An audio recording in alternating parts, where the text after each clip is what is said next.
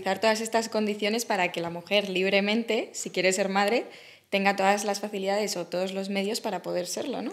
Claro, porque la mayor causa de desigualdad es la maternidad.